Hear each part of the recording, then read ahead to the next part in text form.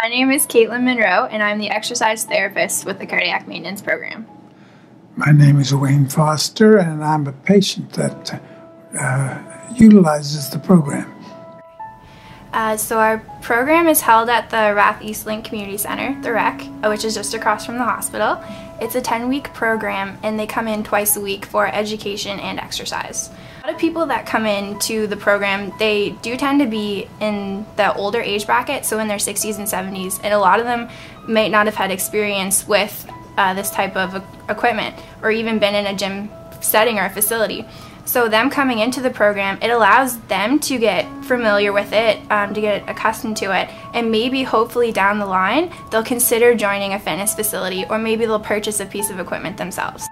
Well, when I was in the hospital for a month and a half, and I lost a, a tremendous, tremendous amount of muscle, and uh, I didn't know, I'm used to going to a gym three times a week, but I didn't know how to begin.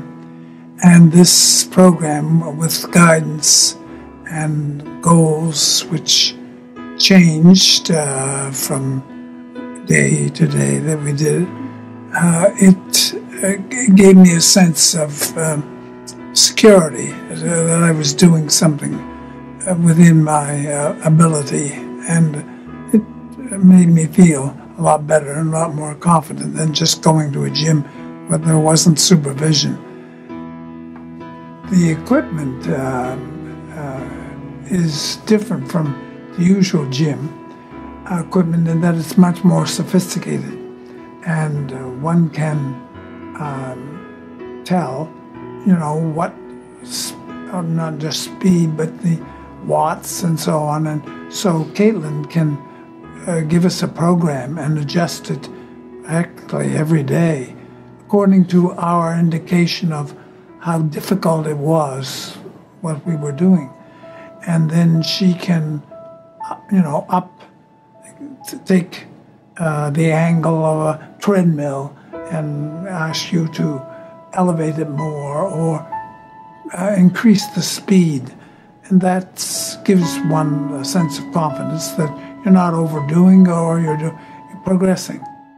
To exercise, uh exercise has limits. We're not whipping to make people exercise.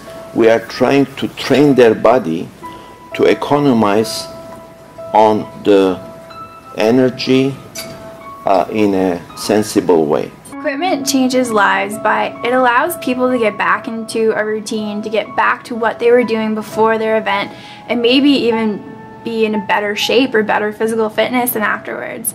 But ultimately, it's helping prevent another heart attack or another uh, cardiac event.